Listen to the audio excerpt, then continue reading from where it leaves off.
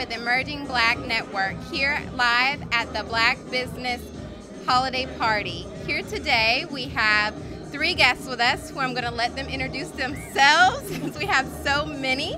And so let's start with you. Your name? Hi, I'm Sharon Fletcher Jones. I am Secretary of the Central Florida Association of Black Journalists, CFABJ for short. nice to meet you. And you? I'm LaFontaine Oliver, and I'm the uh, president of the Central Florida Association of Black Journalists. Awesome. And yourself? And I'm Ginnett Giddens Roberts, and I'm vice president of digital for CFABJ.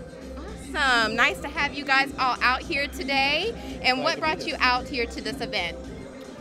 just another opportunity to uh, celebrate and fellowship with uh, some of the other organizations and uh, celebrate the holiday season, do some networking. So, yeah. Absolutely. And how have you guys enjoyed the mixer so far? Well, I know CF. I just wanted to say CFABJ has been part of this.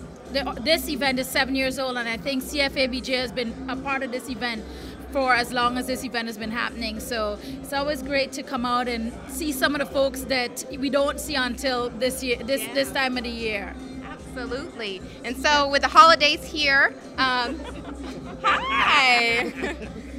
with the holidays here at this time, what do you guys have planned for 2019?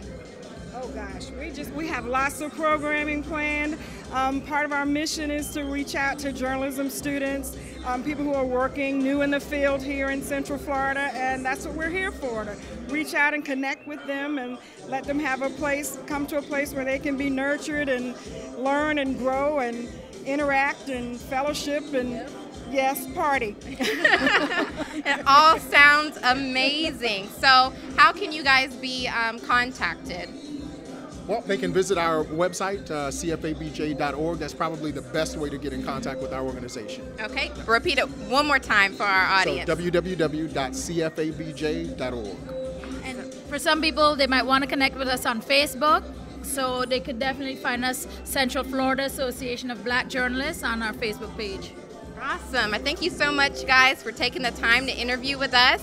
This is Chelsea Brewer with the Emerging Black uh, Network, and I am signing out.